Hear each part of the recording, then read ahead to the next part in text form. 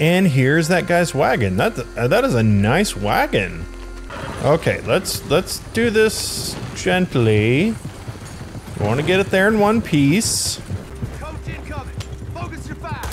Oh gosh. Seriously, I can't see because the things. Shoot that guy, please, Arthur. Whoa, I guess I died. Oh my. Had no idea I was that weak. His wagon was destroyed. What? No, it wasn't, game. And now I know that those two guys coming at me on the road are enemies. So I'm going to try to get the jump on them and shoot them before they, they start shooting me.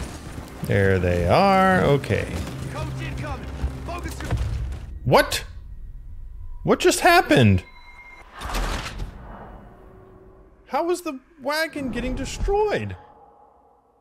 What in the world?